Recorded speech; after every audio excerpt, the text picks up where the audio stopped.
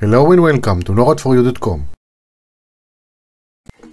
Hello and welcome. My name is Amir Borstein. Welcome to NORAD4U.com and 4EHS And today I'm going to review with you the meters, recommended meters, uh, EMF meters for 2024.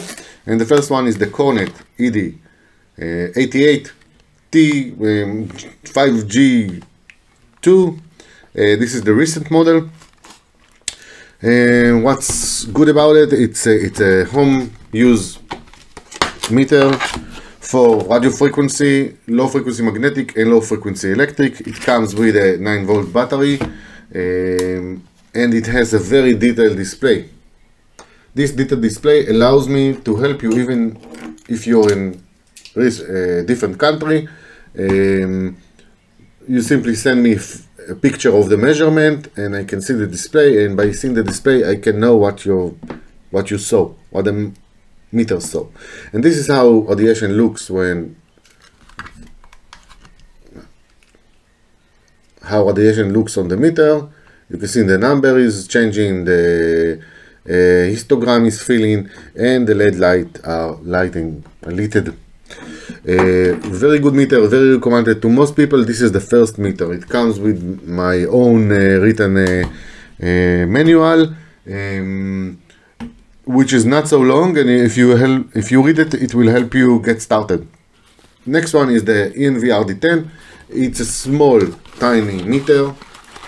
Looks like this with internal battery. It comes with a charging cable that you can connect to the PC, and then it will be um, charged. It measures RF, low frequency magnetic and low frequency electric field. And it's a LED light uh, meter. There's no numeric display. And it just shows you the level of radiation uh, according to the LEDs that are lit. Uh, when, when you turn it on, the first thing it show it, it, it's testing the battery and the, the LEDs and how it's working. This is how radiation looks on this meter. Very simple.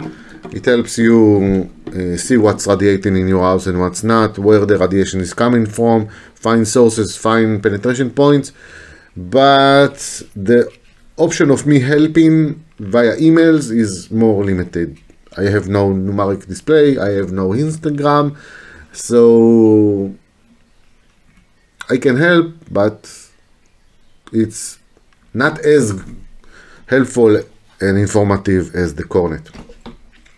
The internal battery can last for about 7 hours of working straight ahead. Uh, you can charge it offline. It's usually used by people who can't use the, or not, that don't want to use the Cornet or can't use the Cornet.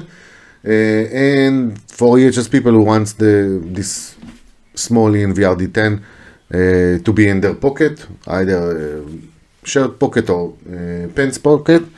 And the third uh, thing is uh, not a meter, it's a detector. the difference between a meter and a, detector is that a meter measure the radiation, a detector just detects. So in a meter you will get a numeric display or a number of a level of the radiation or a LED lights leading up as an indication for the level of the radiation. In a detector, you just get a, there is radiation above a certain threshold or there's no.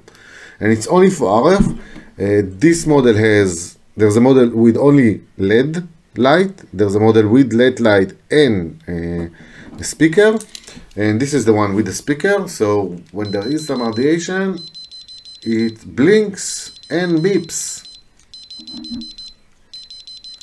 It has a small internal battery that can last up to three years. Uh, it's pocket size, you can put it in your pocket. This is the, the size just for you to see. Uh, it's smaller than the ENV RD10 and it's much smaller than the Cornet, right?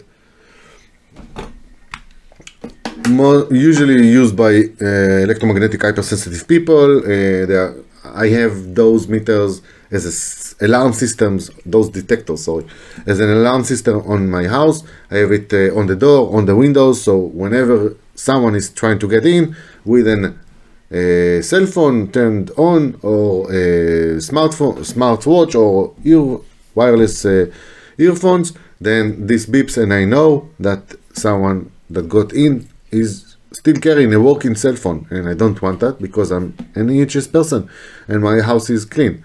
I also have it glued to one of my to, to, to my main uh, router in the house uh, in which the Wi-Fi is turned off. Um, so in case the Wi-Fi for some reason will be turned on, this will beep and I will know that this has happened. So that's all for now. Uh, thank you very much for watching. See you next time. Bye bye. Minimize the use of smartphones and wireless devices before the use will minimize you. Don't forget to subscribe, like, share and comment. Thanks for watching and see you next time.